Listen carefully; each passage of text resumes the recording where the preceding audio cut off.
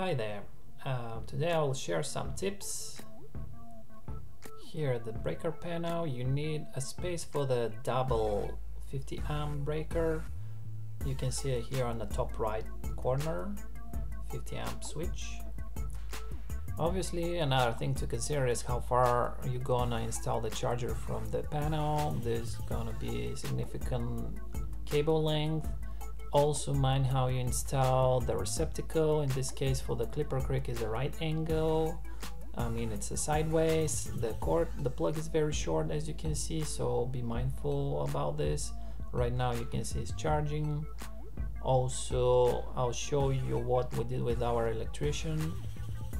He technically detached the cord from the charger and we run it here between the garage door rail and the, the door frame.